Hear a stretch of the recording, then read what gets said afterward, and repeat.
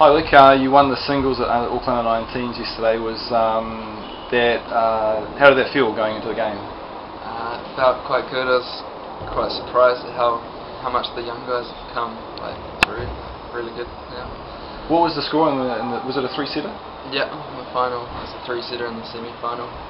So it's pretty tough all the way through. Yep. It's good games. Any key goals for this year? Um, I want to start winning some opens, not just junior things, just in competing with the senior people, just just becoming better. Cool. And what about uh, long term? Like, do you still have ambitions internationally to be an international badminton player? Yeah, I want to um, eventually go to Olympics and Commonwealth and stuff, and and win internationals like all around the world and travel. So that'd be cool. Do you think people have a misunderstanding of how fast the badminton is? Oh, definitely, because they see um, bad people playing, and then they just get the idea that it's a slow sport, and no one really knows how tough it is.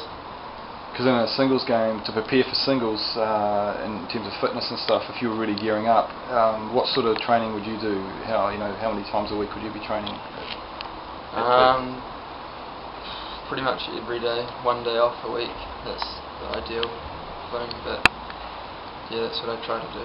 And you have to have a lot of anaerobic fitness as well as aerobic fitness, a yeah, lot of speed. like yeah, do fast stuff and slow stuff just to get yourself in good condition. Okay. Well, well done on the uh, singles title, and uh, good luck for the doubles and mix. Thanks for that.